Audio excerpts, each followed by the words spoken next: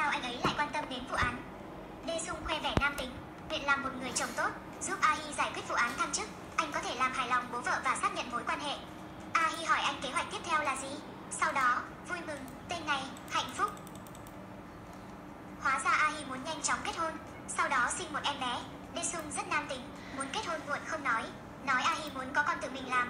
A Hi hận rèn sắt không thành thép, cô ấy muốn Đê Sung sống cuộc sống của mình, thay vì là người luôn bên cạnh của cô ấy. Cảm nhận sự thất vọng của ahi, Hi, Sung quyết định thay đổi bản thân và chủ động.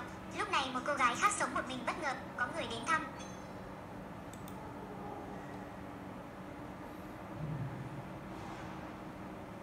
Bạn gái muốn kết hôn và sinh con, người đàn ông không muốn, nhưng đã yêu nhau 20 năm, anh không muốn bạn gái buồn. Chúng ta hãy sinh em bé trước nhé. Anh không tự tin nhưng có thể cố gắng hết sức. Lúc này cô gái bán thời gian dễ dàng đã chuyển 4 thùng hàng. Người đàn ông bị sốc, anh ấy cảm thấy mình có thể làm được. Nhiên anh ấy đã cố gắng, hàng hóa một chút không di chuyển. Lúc này một cô gái lao vào siêu thị, hét lên ai là người giao hàng. Tại sao luôn gửi những thứ này đến nhà cô ấy? Mẹ thấy món đồ không đủ 30 nghìn won. Siêu thị không giao hàng tận nơi.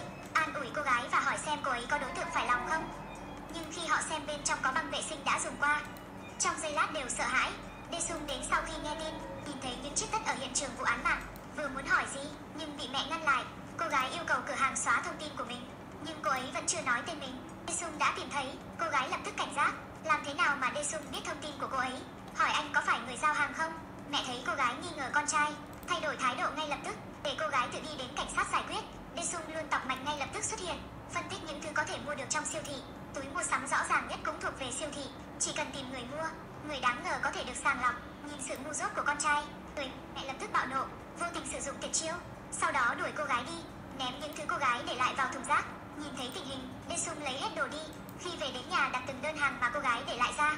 Sau đó kiểm tra danh sách người mua, theo dõi những người gần đây đã mua những mặt hàng này. Ngày tiếp theo, tận dụng sự tiện lợi máy tính tiền, Đê Sung bắt đầu ghi